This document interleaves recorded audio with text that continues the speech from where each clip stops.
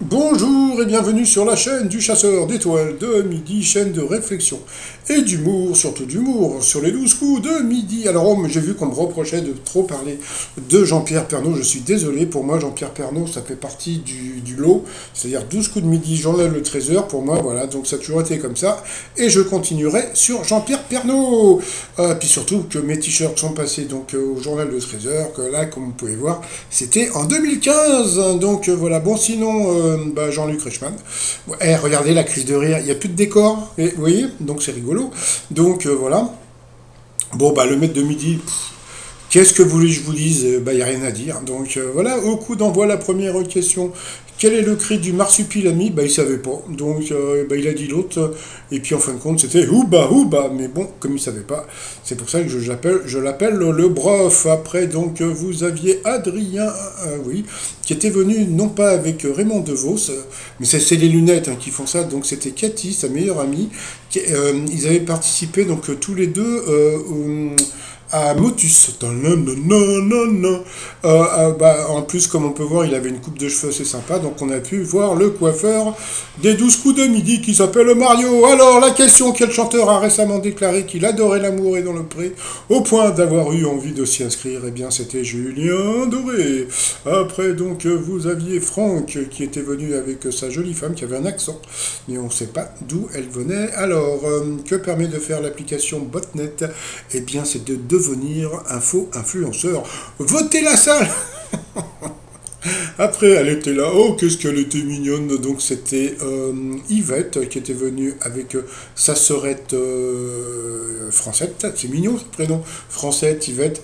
Donc, elle avait déjà participé donc, au 12 coups de midi il y a quelques années, et sa sœur était venue au, mois, de, au, mois de décembre, et Jean-Luc Reichmann s'est même pas rappelé d'elle, vous voyez. Bon, passons. Et comme elle était là euh, du temps de, Christine, eh bien, bah, on a eu Christine au téléphone, mais bon, passons. Elle a fait un joli cadeau. c'est rigolo. Elle a fait un joli cadeau à, Jean-Luc Resmond. C'était un beau dessin, donc c'était assez rigolo. Alors, quel exploit inédit pour un Français Steve, Steve Nord a-t-il accompli en réalisant le Two Way en 2020 Eh bien, c'était la traversée de la Manche. Aller-retour pour... Euh, bon, à quelle adresse Nancy Laurie et Michel ont-elles habité pendant huit années? Euh, chacune Bien, bien sûr, c'était la Maison Blanche. Après, dans un manuscrit retrouvé d'Isaac Newton, que pensait-il éradiquer avec des pastilles faites de vomi et de poudre à crapaud, donc c'était la peste. Sur cette question, il est passé au rouge, qui dit rouge dit duel, il a pris la jolie pourquoi tu l'as prendu, elle est gentille, euh, Yvette? Donc, euh, qui est tombé sur une question facile, qu'est-ce que l'Etna et le Vésuve? Donc, bien sûr, c'était un vovo, un volcan. Donc, ensuite, eh bien, Yvette euh, et Franck se sont retrouvés au coup par coup. Alors, quel pays a un accès à la mer? Donc, la mauvaise réponse était le Bhoutan donc ensuite, quelle proposition est un mixte d'une œuvre d'Émile Zola et d'une œuvre de Victor Hugo? Donc euh, là, c'est lui qui a donné la mauvaise réponse. Le ventre de Paris et, Rougon-Magard, c'est la même personne. C'était Émile Zola. Ensuite, quelle chanson a pu on a pu entendre à la radio? Et là, c'est le bref qui est passé donc euh, à l'orange sur cette question. Donc franchement, surtout que du pain et du beurre, c'était connu comme une chanson de Claude François. Ensuite, euh, dans quel film un des personnages principaux était musicien, eh bien la mauvaise réponse était la vie, rien d'autre. C'est vrai que tous les matins du monde, c'était euh, avec euh, Guillaume Depardieu. Voilà, donc euh, sur cette question, il est passé au rouge. Qui dit rouge dit duel. Lui aussi a pris, il va en duel, qui a eu une question assez facile. Quel est le nom de Steve, le héros de la série L'homme qui valait 3 millions? Eh bien, bien sûr, c'était Steve Austin. Donc ensuite, eh bien, Yvette se retrouve en, coup fatal face au brof. Que va-t-il se passer? Que va-t-il se passer? Ils ont envoyé la pupube. Ah Allez, retour de pupube, alors on va rigoler parce que bon, bah, on va voir les questions. Hein. Alors, ce qui, est, intéressant maintenant que, quand, je, mets les questions au coup fatal, euh, c'est que on, peut voir euh, déjà donc euh, comment le, le brof est, bof, ben voilà.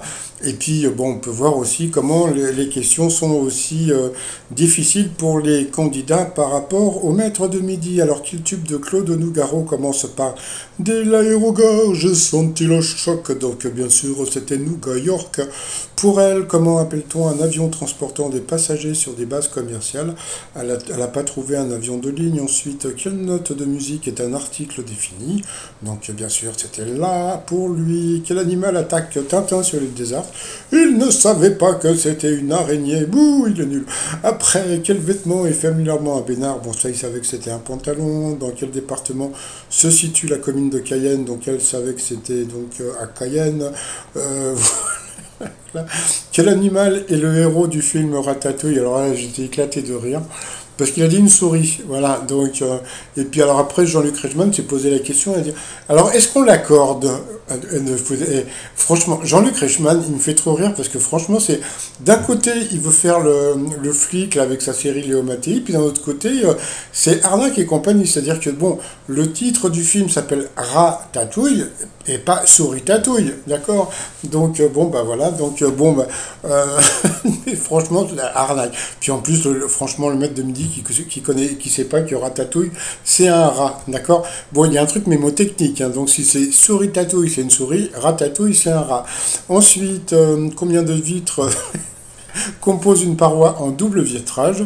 Devinez quelle était la réponse, c'était pour lui, hein. donc c'était deux, bien sûr, double vitrage.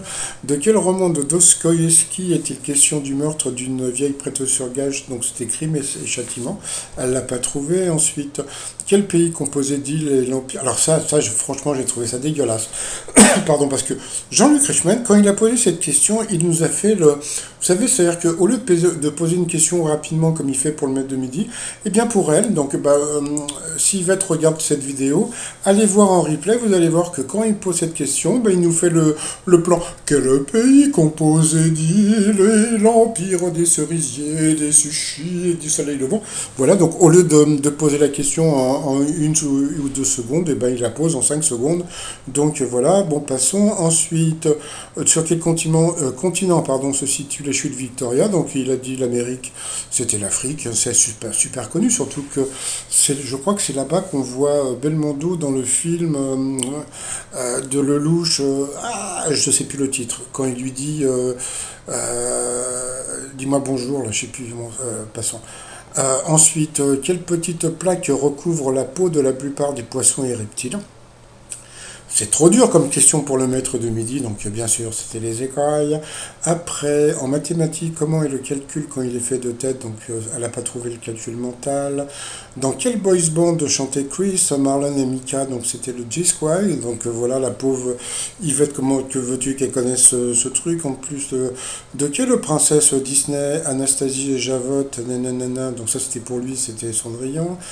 Euh, que fait plus souvent que les autres une personne narcoleptique? Donc ça c'était encore pour lui, ben, narcoleptique, il, fait dodo. Puis donc à la fin, et la pépère et la dudu, et il a gagné. Donc euh, voilà, donc, voilà. Voilà, qu'est-ce que je voulais que je vous dise? Donc bon, bah, là, là, par rapport aux questions et puis par rapport aux réponses du maître du midi, on se rend compte que euh, c'est... Moi, moi, ce que j'arrive pas à comprendre, c'est la production. C'est-à-dire que quand ils, renvoient, et quand ils revoient l'émission, ils se disent pas euh, euh, non mais attendez, euh, ça va se voir quand même. Non, non, ils se le disent pas, ils, doivent se dire, bah, les mecs. Bah, je pense que moi, avant, avant d'avoir ma chaîne, quand je regardais l'émission, je pense que je ne réfléchissais pas. C'est-à-dire que je regardais comme ça, sans réfléchir, et je pense que voilà, à la production, ils se disent, non mais les mecs sont en train de bouffer, ils se rendent pas compte. Bah voilà, je pense que c'est comme ça. Allez, par rapport au coup de maître, alors là, encore, vous allez voir l'arnaque, la crise de rire. Quelle application désigne en parlant de son compte Insta Donc bien sûr c'est Instagram, bon ça au début c'est normal, question facile. Ensuite à quelle occasion entend-on le brame du cerf? Donc c'est facile, c'est quand euh, il fait un golo golo dans la case. Après aux États-Unis, quelle est la plus petite valeur d'un billet de banque? La crise de rire. Donc il y avait 1 dollar, il y avait 5 euh, dollars ou bien il y avait 5 euh, dollars ou je sais plus, je crois, je crois que c'était 10 dollars. Donc moi je sais pas, il n'y a pas la moitié d'un dollar en billet? Non, non, bien sûr c'était 1 dollar. Mais bon, c'était une question facile. Après, euh, qu'est-ce qu'il y a eu de, dans, quoi glisse-t-on les, les balles pardon, dans un revolver? Donc bien sûr, c'était le barillet. Ensuite, euh, alors ça, alors ça c'était l'arnaque du siècle. Parce qu'à la fin, tu te dis, bon, ils vont lui mettre une question difficile, comme ils font d'habitude. De quel sexe symbole des années 50 Marichka Agitei, euh, l'héroïne de New York Unité Spéciale, est-elle la fille? Bon, alors tu te dis, bon, bah c'est bien, ils mettent une question euh, difficile à la fin. Sauf que, sauf que, sauf que quoi? Eh bien, ils te mettent en dessous Marilyn Monroe, moi tu sais d'avance qu'elle n'a jamais eu d'enfant. Brigitte Bardot n'a pas du tout de, fille euh, américaine. Donc euh, voilà, donc euh, bon, bah, ça ne pouvait être que l'autre. C'est-à-dire qu'en fin de compte, ils posent une question difficile, mais en dessous, ils mettent des trucs évidents. Donc bon, alors, donc bien sûr, donc il a fait un coup de main, donc il est content. Donc on a pu voir la photo de la nana de, de Marichka Argetaway, ou Gargitel, je sais pas quoi, bon, passons. Et donc voilà, je, voilà, donc je vais vous expliquer pourquoi le maître de midi reste maître de midi. C'est parce qu'à chaque fois qu'il fait un coup de maître, il chiale. Voilà, donc c'est tout. Mais moi, je vais vous dire, franchement, il y a beaucoup de gens qui l'ont éliminé, le maître de midi. C'est-à-dire que, euh, d'où le titre de ma vidéo, c'est-à-dire que, franchement, euh, pour beaucoup de gens, le, maître de midi n'a pas sa place ici. Euh, j'ai vu qu'il y a des gens qui se, posaient la question à savoir, mais comment il a passé les, sélections? C'est-à-dire que c'est une arnaque de, de chez Arnaque. C'est-à-dire que j'arrive pas à comprendre. Là, franchement, ayant plus Jean-Luc Reichmann, il y a un moment, il dit oui, les autres nous copient. Ah non, non, non, non, non, j'ai j'ai pas vu euh, j'ai pas vu un jeu comme ça où il y avait autant de d'avantages pour euh, comment dire pour le maître de midi. Franchement c'est euh, c'est honteux. Hein. Franchement c'est vraiment honteux. Donc voilà, mais bon, moi j'ai l'habitude maintenant. Donc bon, c'est pour ça que je l'appelle le bref. Hein, bon passons. Allez, par rapport à l'étoile mystérieuse, eh bien ça y est. Donc on commence à voir sur la gauche, hein, on dirait un oiseau. Ça ressemble à comment s'appelle cet oiseau là avec avec une tête bizarre là. Euh, ah, je, euh, je vois pas. Ah, non, je m'en rappelle plus. Bon, je, j'essaierai de vous le mettre euh, après la vidéo.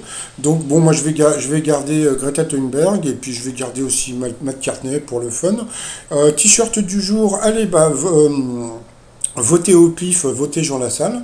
Voilà, parce que bon bon, c'est dommage, je ne me suis pas inscrit, mais sinon j'aurais voté Jean Lassalle. Pas pour qu'il devienne président, mais pour qu'au moins il ait les 5% pour se faire rembourser. Et puis le t-shirt de la fête des, des grands-mères. Hein. Le premier qui m'appelle mamie, c'est mon point dans la gueule. Voilà, tout ça sur le site trommignon.com. Et puis bah sinon, bah voilà, hein, qu'est-ce que je vous dise? 204 577, donc l'arnaque du siècle. Bon, et sinon, tiens, sur euh, ma chaîne Chasseur de News, j'ai mis une vidéo parce qu'il y a eu un, euh, comment dire, une explosion juste à côté de chez ma mère. Et euh, voilà, donc j'ai mis une vidéo, ça vous intéresse, je vous mettrai le lien sous la vidéo. Allez, je vous souhaite une bonne journée et je vous dis à demain. Portez-vous bien. Allez, bye bye.